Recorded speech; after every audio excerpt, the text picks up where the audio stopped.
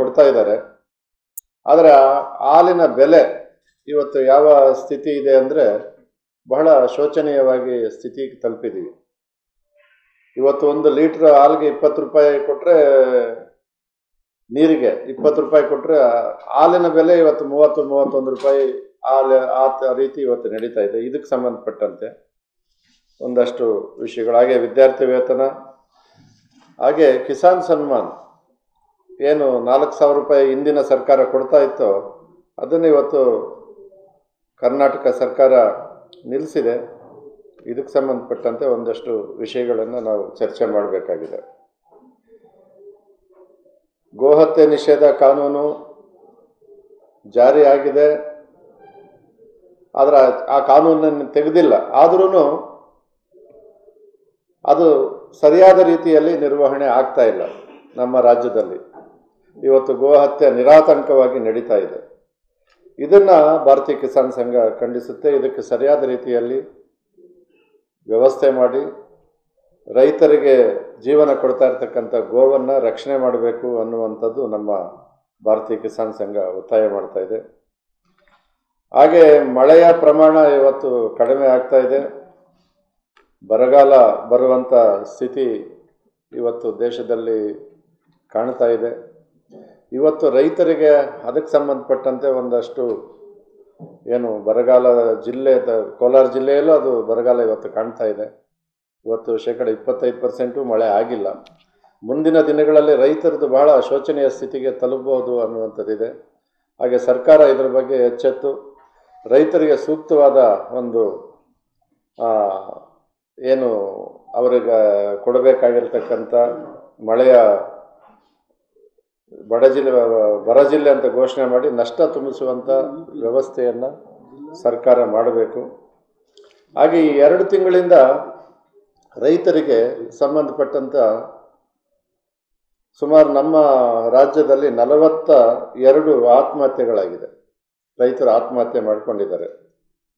ಇವತ್ತು ಬೆಲೆ ಇಲ್ಲದೆ ನಷ್ಟ ಅನುಭವಿಸ್ತಾ ಇರ್ತಕ್ಕಂಥ ರೈತ ಇವತ್ತು ಬರಗಾಲ ಬರ್ತಾ ಇದೆ, ಬೆಳೆ ಬೆಳೆದಂಥ ಬೆಳೆಗೆ ಬೆಲೆ ಇಲ್ಲ.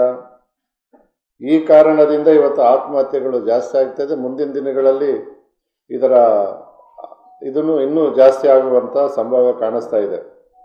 ಸುಮಾರು ಹಾವೇರಿ ಒಂದು ಜಿಲ್ಲೆಯಲ್ಲಿ ಇವತ್ತು ಅರವತ್ತೆರಡು ಜನ ಆತ್ಮಹತ್ಯೆ ಮಾಡಿಕೊಂಡಿದ್ದಾರೆ, ಅಲ್ಲಿನ ದಾಖಲೆಗಳ ಪ್ರಕಾರ.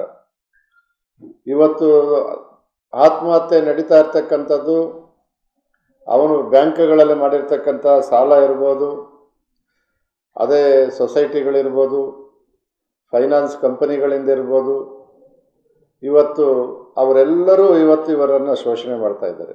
ಸಾಲದಕ್ಕೆ ನಮ್ಮ ಗ್ರಾಮಗಳಲ್ಲೇ ಉಟ್ಕೊಂಡಿರ್ತಕ್ಕಂಥ ಸ್ವಸಹಾಯ ಸಂಘಗಳು, ಅದರ ಮುಖಾಂತರ ಸಾಲಗಳನ್ನು ಪಡೆಯೋದು, ಕೈ ಸಾಲ ಪಡೆಯೋದು, ಕೊನೆಗೆ ಅವನಿಗೆ ಯಾವುದು ಬೆಳೆಗಳಲ್ಲಿ ಬೆಳೆ ಲಾಭ ಸಿಗದೇ ಇದ್ದ ಸಂದರ್ಭದಲ್ಲಿ ಅವನು ಇವತ್ತು ಆತ್ಮಹತ್ಯೆಗೆ ಶರಣಾಗ್ತಾ ಇದ್ದಾನೆ. ಇವತ್ತು ದೊಡ್ಡ ಪ್ರಮಾಣದಲ್ಲಿ ನಾವು ಅದನ್ನು ಸುಮ್ಮನೆ ಏನು ಹೇಳ್ತಾ ಇಲ್ಲ. ಹೋಗಿ ಅದನ್ನು ನೋಡಿ ಅಲ್ಲಿ ಯಾವ ಪರಿಸ್ಥಿತಿಯಲ್ಲಿ ಇದ್ದಾರೆ ಅನ್ನೋ ತಿಳ್ಕೊಂಡೇ ಇದನ್ನು ನಾವು ಮಾತಾಡ್ತಾ ಇರೋದು. ಇದಕ್ಕೆ ಸರ್ಕಾರ ಕಡಿವಾಣ ಹಾಕಬೇಕು. ಈ ದೃಷ್ಟಿಯಲ್ಲಿ ಒಂದಷ್ಟು ಮಾಡಬೇಕಂತ ಸರ್ಕಾರವನ್ನು ನಾವು ಒತ್ತಾಯಿಸ್ತಾ ಇದ್ದೀವಿ. ಹಾಗೆ ರೈತರಿಗೆ ಸಿವಿಲ್ ಸಿವಿಲ್ ಅಂತೇಳಿ ಒಂದು ಮಾಡಿದ್ದಾರೆ ಇವತ್ತು.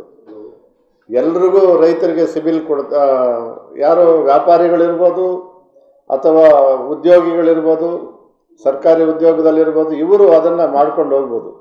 ಆದರೆ ರೈತ ಯಾವ ರೀತಿ ಅವನು ಕಟ್ಟಕ್ಕೆ ಸಾಧ್ಯ ಇದೆ? ಅವನು ಒಂದು ಬೆಳೆ ಬೆಳೆದ್ರೆ ಒಂದು ವರ್ಷದಲ್ಲಿ, ವರ್ಷಕ್ಕೋ ಆರು ತಿಂಗಳಿಗೂ ಅವನು ಬೆಳೆಯಲ್ಲಿ ಹಣ ಸಿಗೋದು.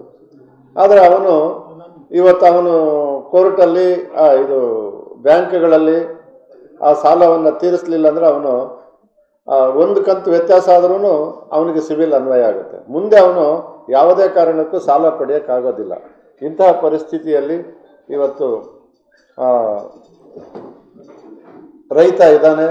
ಇದನ್ನು ನಾವು ರೈತರು, ಭಾರತೀಯ ಕಿಸಾನ್ ಸಂಘ, ಇದು ಕೇಂದ್ರ ಸರ್ಕಾರ ಇರ್ಬೋದು ರಾಜ್ಯ ಸರ್ಕಾರಗಳಿರ್ಬೋದು, ಇದನ್ನು ಯೋಚನೆ ಮಾಡಿ ಇವತ್ತು ನಮಗೆ ರೈತರಿಗೆ ನ್ಯಾಯ ಕೊಡಬೇಕು ಅನ್ನುವಂಥ ಇದನ್ನು ಇಟ್ಕೊಂಡು ಇವತ್ತು ಹೋರಾಟಗಳನ್ನು ಭಾರತೀಯ ಕಿಸಾನ್ ಸಂಘ ಮಾಡ್ತಾ ಇದೆ. ಈ ದೃಷ್ಟಿಯಲ್ಲಿ ಇವತ್ತು ಪತ್ರಿಕಾಗೋಷ್ಠಿಯನ್ನು ನಾವು ಕರೆದಿದ್ದೀವಿ. ಇಷ್ಟು ವಿಷಯಗಳು ನಮ್ಮ ಕಣ್ಮುಂದೆ ಇದೆ. ಇದಕ್ಕೆ ಸಂಬಂಧಪಟ್ಟಂಥ ನಾವು ಈಗಾಗಲೇ ಸಾಕಷ್ಟು ತಯಾರಿಗಳನ್ನು ನಾವು ಮಾಡಿದ್ದೀವಿ. ಈಗ ರೈತರಿಗೆ ಲಾಭದಾಯಕ ಬೆಲೆ ಕೊಡಬೇಕು ಅನ್ನುವಂಥ ದೃಷ್ಟಿಯಿಂದ ಇವತ್ತು ರೈತ ಬೆಳೆದಂಥ ಬೆಳೆಗೆ ಅವನು ಉತ್ಪಾದನಾ ವೆಚ್ಚದ ಆಧಾರದ ಮೇಲೆ ಬೆಲೆ ಕೊಡಬೇಕು. ಇವತ್ತು ಬೆಲೆ ಕೊಡ್ತಾ ಇದ್ದಾರೆ. ಯಾವುದು? ಬೆಂಬಲ ಬೆಲೆ. ನಾವು ಕೇಳ್ತಾ ಇರೋದು ಬೆಂಬಲ ಬೆಲೆ ಅಲ್ಲ, ಲಾಭದಾಯಕ ಬೆಲೆ ಕೊಡಿ.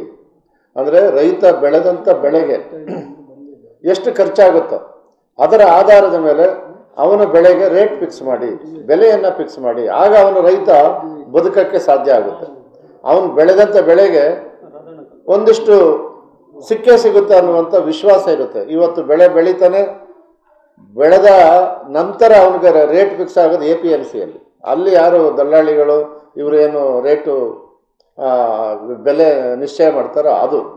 ಅದೇ ಒಂದು ಕಂಪನಿ ನೀವು ತಗೊಳ್ಳಿ ಯಾವುದೇ ಒಂದು ವಸ್ತುವನ್ನು ತಯಾರು ಮಾಡಿದರೆ ಅದರ ಮೇಲೆ ಎಂ ಆರ್ ಪಿ ಹಾಕ್ತಾರೆ. ಇದರ ಬೆಲೆ ಇಷ್ಟು ಹತ್ತು ರೂಪಾಯಿ ಇದೆ ಹದಿನೈದು ರೂಪಾಯಿ ಇದೆ. ಅಂದರೆ ಅದರ ಎಷ್ಟು ಖರ್ಚು ವೆಚ್ಚ ಆಗಿದೆ ಅಂತ. ಇವತ್ತು ನಮ್ಮ ರೈತರದ್ದು ಅದೇ ಸ್ಥಿತಿ ಇದೆ. ಇವತ್ತು ಇಷ್ಟು ದೊಡ್ಡ ಪ್ರಮಾಣದಲ್ಲಿ ಖರ್ಚು ಆಗ್ತಾ ಇದೆ. ಆದರೆ ನಮಗೆ ಬೆಲೆ ಸಿಗ್ತಾ ಇಲ್ಲ. ಇವತ್ತು ಈ ದೃಷ್ಟಿಯಿಂದ ನಾವು ಕೇಂದ್ರ ಸರ್ಕಾರವನ್ನು ಮತ್ತು ರಾಜ್ಯ ಸರ್ಕಾರವನ್ನು ಒತ್ತಾಯ ಮಾಡ್ತಾ ಇದ್ದೀವಿ.